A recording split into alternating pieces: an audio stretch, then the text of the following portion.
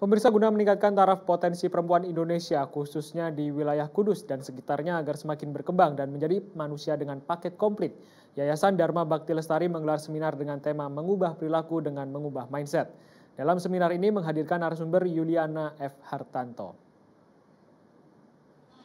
Cantik itu ada cantik luar, ada cantik Lebih dari 150 peserta se-ekskarisidenan Pati mengikuti seminar Mindset for Women. Kegiatan ini diselenggarakan oleh Yayasan Dharma Bakti Lestari dengan mengusung tema mengubah perilaku dengan mengubah mindset dengan harapan bisa mengubah pola pikir perempuan agar dapat terarah menjadi lebih baik. Seminar kali ini untuk memperbarui cara pandang peserta agar lebih kuat dalam mensikapi dan menyelesaikan masalah di era masa kini.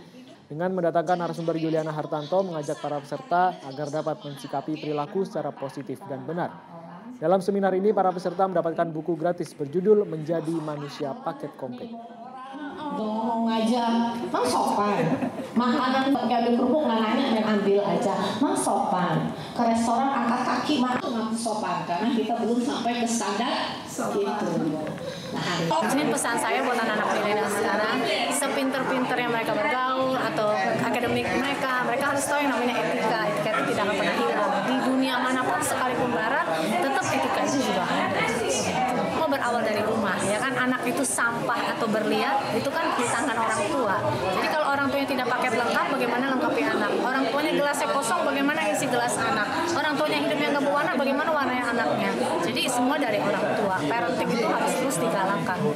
butuh perubahan dari kita sebagai wanita untuk bisa tampil lebih beda, lebih baik lagi dari sebelumnya seperti itu. Dari penyampaian yang disampaikan oleh Mbak Zuli, saya eh, mendapatkan ilmu-ilmu baru, bisa mengupgrade lagi eh, apa potensi yang ada di dal- dalam